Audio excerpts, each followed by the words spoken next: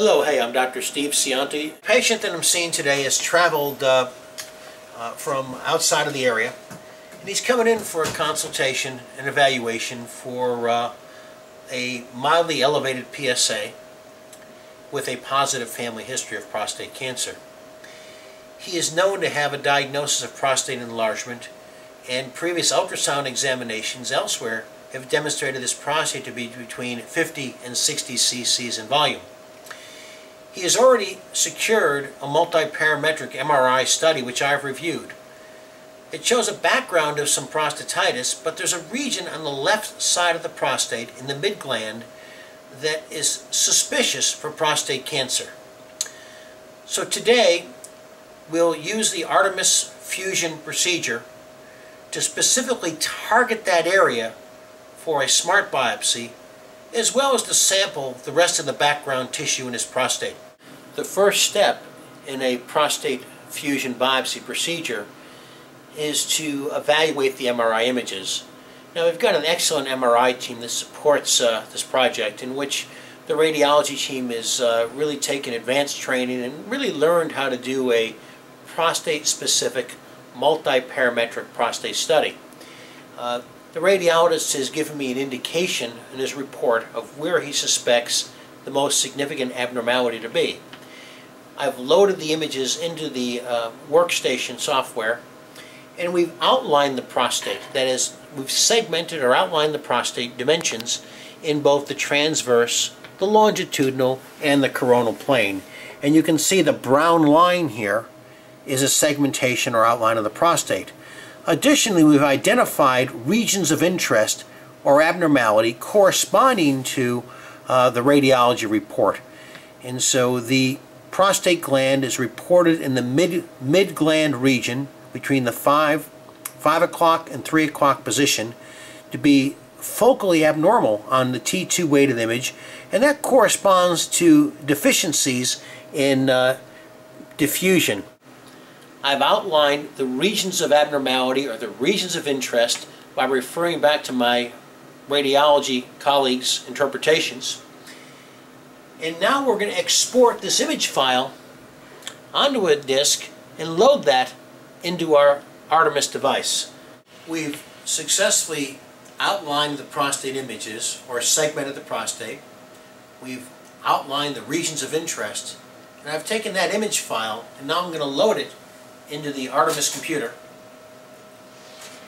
so that these images now can be fused to the ultrasound images which we're going to acquire when we do the procedure.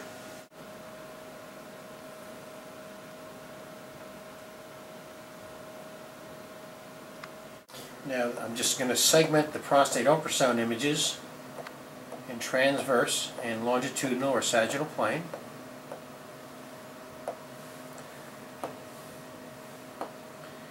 And now we're going to segment the prostate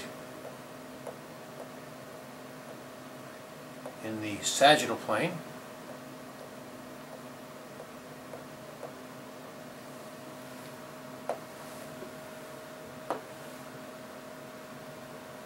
Now the software is going to create a model of your prostate. And now I'm going to modify that model and make sure it's an exact match line here of your prostate, which we do. That looks beautiful. Now I'm happy with that. Coronal plane looks great. So now I'm ready to load our MRI disc. A very nice MRI image on the screen. Beautiful.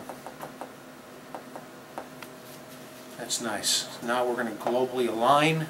We're going to align the ultrasound and the MRI images with the software and we're going to be sure that these images correspond to each other. Now we're going to fuse the images. The computer now has done what's called a fusion. It's done this precise overlay. Now we see the areas that I've identified as abnormal, and now we're going to put the targets in. It's all done by computer.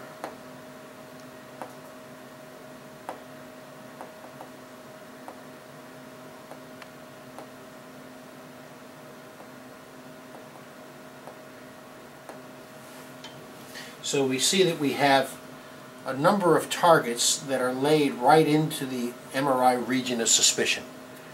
Okay? So that's a very nice um, demonstration of being able to target the MRI abnormality. And I'll note that that area, if you look at the ultrasound, is quite normal in ultrasound. We see no abnormalities in those regions. So that's, um, I think that's, that's important.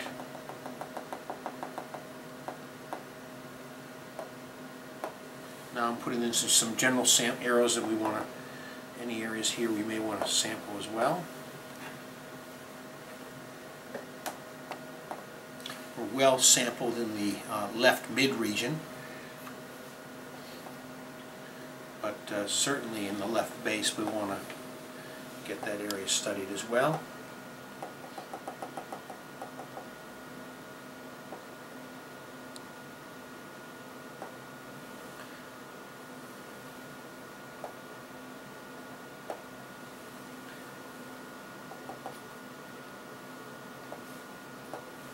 Those regions there.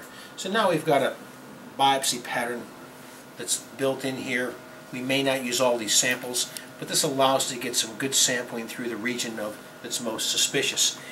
Now I'm going to finish the fusion, and now we're going to develop our biopsy. Go to our biopsy mode. Now in our biopsy mode, we'll simply align the uh, Artemis device with these targets, and we're ready to go. So Jackie, the area of interest is left mid MRI target. Left, mid, and that's where the biopsy, the first biopsy is going to come from. Left mid MRI target.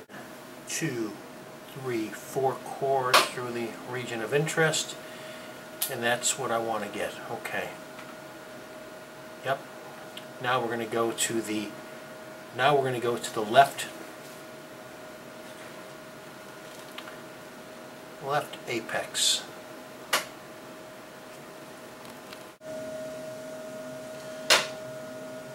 Actually call that left lateral base for me, okay? Sure. Left is focused on the region of abnormality with the cores going right through the uh, MRI regions of abnormality. And if we really look at that from a, a, a, a, sort of a cartoon standpoint or a diagrammatic standpoint, we can see really nicely um, that uh, that those cores are really focused, no matter how we look at it, they're going right through, right through the region of abnormality. One, two, three, four cores. One, two, three, four. Okay? And then again, you can see how we've sampled uh, the, uh, the right side and then also got some samples out here at the apex and base region on his uh, area on the left side we were worried about.